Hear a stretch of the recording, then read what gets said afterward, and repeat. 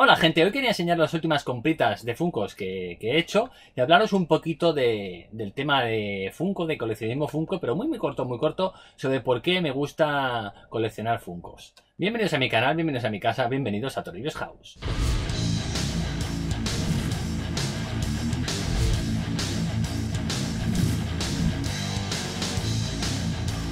Bueno, como os iba diciendo, hoy no voy a contaros ninguna historieta de, de coleccionismo Funko, no voy a hacer una reflexión, no me voy a poner serio.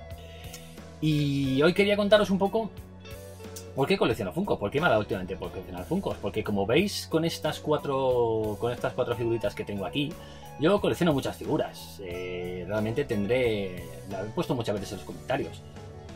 Yo creo que tendré como entre figuritas pequeñas, gasapones, figuritas grandes, Funkos y tal, debo tener 1500, 1500, yo que sé, como 1500 1500 cachivaches de, todo tipo. Y esto es un comentario muy muy rápido de por qué últimamente saco tantos Funcos en mi canal. Yo colecciono de todo, pero Funcos últimamente también. Y bastantes, bastantes. Eh, a lo mejor me compro 3 o 4 al mes. ¿20? Bueno, no sé. Mejor no lo digo, que luego me escucha mi mujer y me da así dos collejas. Pero bueno, eh, compro bastantes Funcos últimamente porque ya digo, tienen todas las cosas que me gustan. Tienen todas las cosas que me gustan. Tienen cosas de Disney, tienen personajes icónicos, mundiales, tienen personajes de películas, tienen personajes de videojuegos, que es que tienen de todo, es que tienen de todo. Eh, yo solo colecciono ordinarios, básicamente, casi toda mi colección son Funcos ordinarios, no me gusta ir buscando cosas exclusivas, ya lo he dicho más de una vez, porque a mí me gustan los ordinarios. Un coleccionista medio bajo puede tener una colección de Funkos decente en muy poco tiempo. Un Funko puede costar entre 8 y 14 euros. Bueno, puedes comprar uno al mes, dos al mes, medio al mes. Y puedes tener una colección rápidamente, una colección de tus personajes favoritos. Como veis, aquí tienes para elegir de todo tipo. Yo estos son los últimos que me he comprado. Eh, John Wick, Albert Einstein, The Beast y Spyro. Yo creo que es un, un ejemplo de que las cosas que nos gustan están representadas perfectamente en las figuras Funko, o sea, es muy complicado, muy complicado que no haya un Funko de algo que nos gusta. Es cierto que un amigo mío el otro día me preguntaba que si había Funcos de Héroes del Silencio. Tienes muchas huellas que borrar. Eh, no, no hay Funkos de Héroes del Silencio porque Funko es una empresa americana y de momento, de momento, solo hay grupos, eh, grandes grupos musicales eh, a nivel mundial. Voy a abrir estos funquitos, como siempre todos a mogollón, para ir viéndolos un poco para ver cómo son.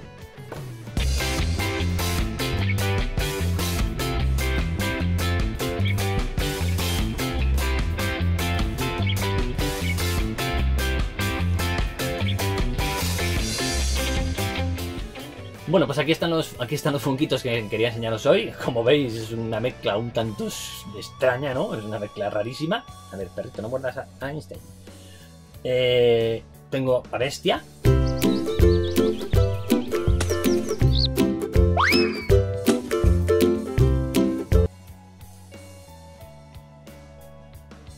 De la Bella y la Bestia. Joder, es que no puede ser más bonito el Funko, está chulísimo muy bonito, muy bonito. Algún día os enseñaré mi colección de figuritas, de minifiguritas que tengo de, de las películas Disney, porque la verdad es que tengo unos cuantos, tengo unos cuantos miniset. Algún día, algún día os las enseñaré. He puesto eso en Albert Einstein, que por cierto. A ver, no se queda muy bien, no se queda muy quieto aquí, a ver, quieto. Bueno, parece que se cae. Bueno, le pongo la cabeza torcida, con la cabeza torcida se equilibra un poco mejor, sí, bueno, así se equilibra un poco mejor el señor Einstein. Hoy nos acompaña Albert Einstein, el padre de la física moderna. Dice, ¿qué pasa cuando uno tiende a infinito? Pues que infinito se seca.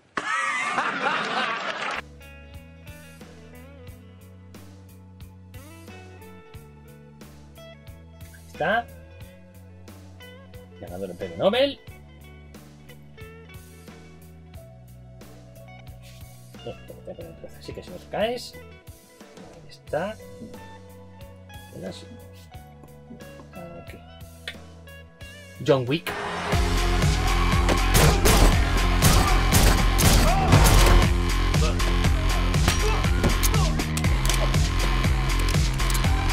Mítico John Wick. A ver. ¿Sabes que está genial? John Wick. Mola un montón.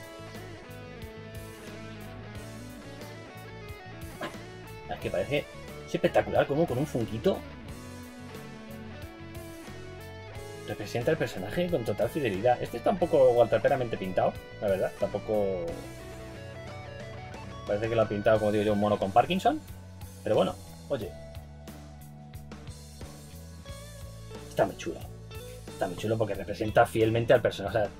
Es John Wick. Es John Wick. Yo, fíjate que yo tengo más figuras de John Wick de alguna de Demon Select y a mí me parece genial esta figurita. Y además viene aquí con su mascota. Perrillo.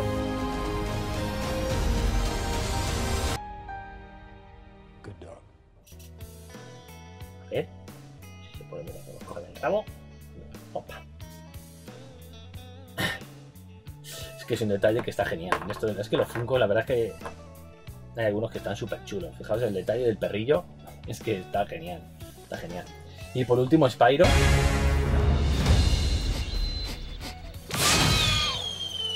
Vamos a hacerlo a la parrilla.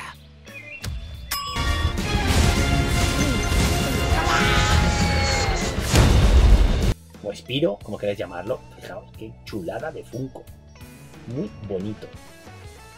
Este Funko es precioso. La verdad que es una figurita que no como figura, no como Funko, sino como figurita en, en general.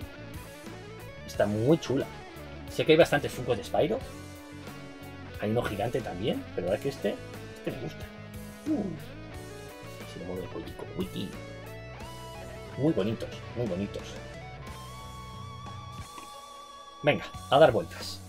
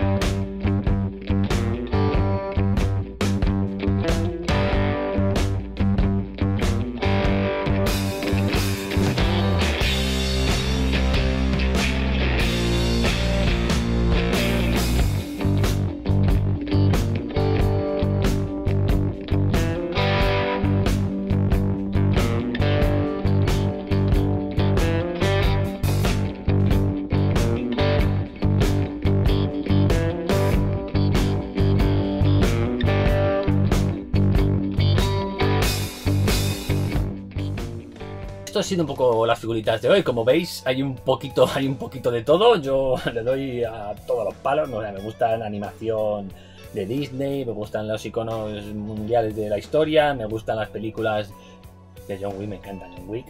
Me gustan las películas de esta de acción, me gustan los videojuegos. Bueno, pues tenemos para elegir, para elegir ahí para dar y tomar. Ya digo, Funcos, la vez que puse el numerito había 9000, 9000 y pico, 9500, ya no me acuerdo ni cuántos Funcos había.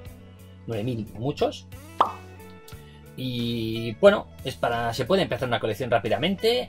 Y creo que es una forma asequible de coleccionar. O sea, yo entiendo que hay mucha, hay gente que no le gustan los Funkos, lo entiendo, son muñecos cabezones que representan de manera icónica un personaje. Bueno, habrá quien le guste, habrá quien no le guste.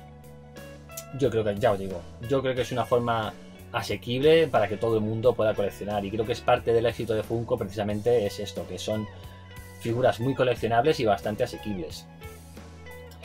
Y esto ha sido, y esto ha sido el vídeo de hoy. Eh, si os ha gustado el vídeo, dejadme en los comentarios. Si no os ha gustado el vídeo, dejadme en los comentarios. Comentar, comentar, no cortéis, comentar, que a mí me gustan los comentarios, ya sabéis, yo contesto siempre, contestad lo que, comentad lo que queráis. Y suscribiros a mi canal si no estáis suscritos. mm, darle a la campanita, darle al like. ¿Qué más se dice? ¿Qué más se dice? Pues yo qué sé, pues eso, lo típico. Eh, visitad mi Instagram si os apetece. Y nos vemos en un próximo vídeo, en un próximo unboxing o lo que se me ocurra. Hasta luego.